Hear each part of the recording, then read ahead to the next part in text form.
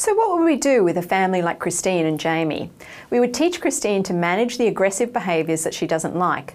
But equally, we would be asking her to think about exactly what it is that she does want Jamie to do in the situations where they are currently struggling.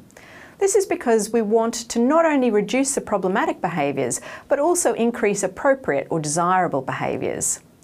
She might want him to do his homework when she asks him to, or to negotiate a time at which he will do his homework, as opposed to swearing and threatening her with a corkscrew. She might want him to keep his voice at a suitable volume rather than yelling. She might want him to find more appropriate ways of expressing his frustration as opposed to verbally abusing and physically threatening her. It's not all about what she doesn't want Jamie to do, but redirecting him to things that she does want him to do, positive things that she can then praise him for. Now, if we were doing behavioural parent training with Jamie and his mum, we would actually get them to begin practicing the new strategies at home when they were both calm. So, if being asked to do his homework is a regular trigger for Jamie's behaviour, we would have them role play this situation.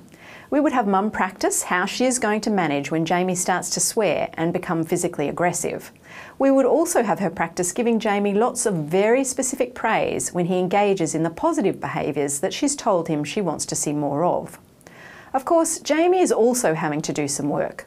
He's having to engage in the behaviours that mum wants to see more of, like doing his homework when asked, using a quiet voice and polite words, and so on. On the point of praise, and I do this all the time, I'm as guilty of it as the next parent, we often will make comments like, good boy, good girl, nice job, well done, that sort of thing. This is generic, very general praise.